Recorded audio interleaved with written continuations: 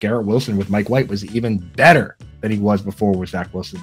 He ran 28 of 30 routes, clearly led that team in routes run. No one else ran more than 23. So they're looking at it right now. Like the wide receiver coach is looking at it and saying, okay, this is the top wide receiver on the team. This guy is the guy who's going to play every play. And then we'll figure out how to work in the rest of you guys around him. Those are the guys I want on my team.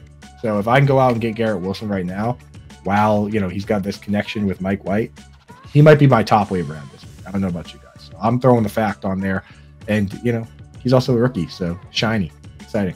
Yeah, absolutely. This is exactly what you want to see. This progression for Garrett Wilson throughout the season is, is he's fallen into just like the best or like prototypical ideal season for rookie wide receivers. He's talented, and I expect him to continue being talented going forward. So yeah, total fact. Does Mike White being the quarterback elevate or lower him for you rest of season for fantasy? Neutral. Agreed. Neutral.